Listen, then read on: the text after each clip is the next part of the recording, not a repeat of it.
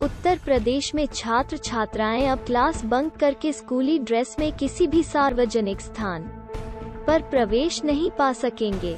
इस संबंध में उत्तर प्रदेश बाल अधिकार संरक्षण आयोग की ओर से एक सिफारिश पत्र भेजा गया है। इसे प्रदेश के सभी जिलाधिकारियों को भेजा गया है और आदेश के अनुरूप एक्शन लेने को कहा गया है।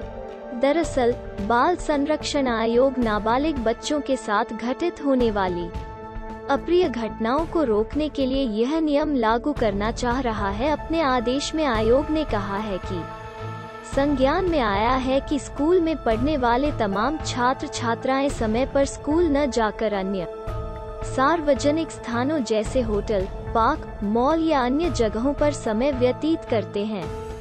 ऐसी परिस्थितियों में उनके साथ अप्रिय घटना को लेकर संभावना बढ़ जाती है।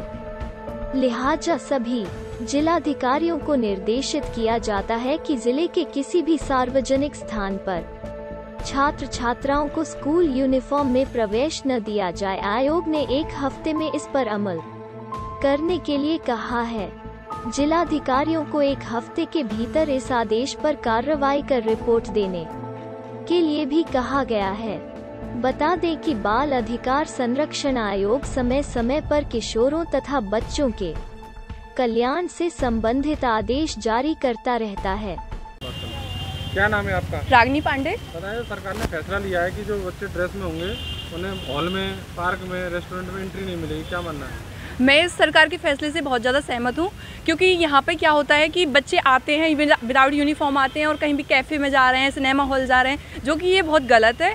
इससे पेरेंट्स के लिए भी एक सुविधा होगी कि हमारे बच्चे हाँ हम शिक्षा के लिए भेज रहे हैं और शिक्षा ही प्राप्त कर रहे हैं। इसलिए मैं शिक्षा में सुधार होगा? हाँ शिक्षा में सुधार होगा। अपराधों को लेकर क्या कहेंगे?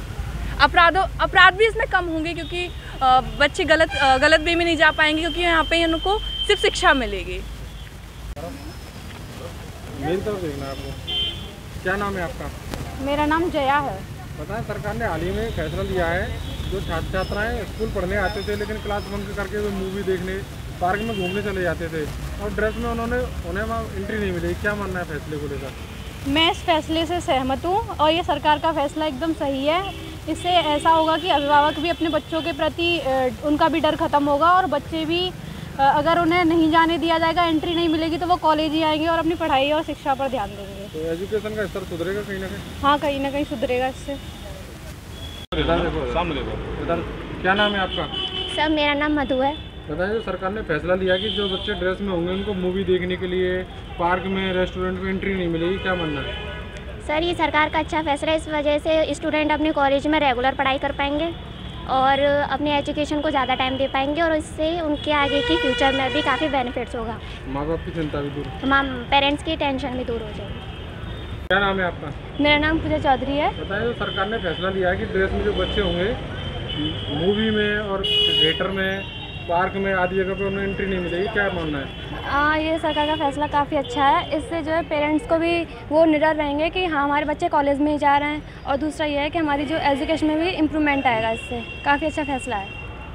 क्या नाम है आपका? निर्मल तिवारी। बताएँ सरकार ने एक फैसला लिया है कि जो बच्चे स्कूल या कॉलेज पढ़ने आते थे ड्रेस में लेकिन वो बंक मार के रेस्टोरेंट मूवी आदि देखने चले जाते थे। अब ड्रेस में उन्हें वहाँ एंट्री नहीं मिलेगी। क्या मानना है? ये बहुत अच्छा फैसला है जिससे बच्चे आएँगे तो अपने कॉलेज ही जाएँगे उसके अलावा और कहीं जाने का उनके पास रास्ता नहीं रहेगा और अपने पढ़ाई पर अच्छे तरह से ध्यान देंगे वो। तो अच्छा फैसला अच्छा फैसला है।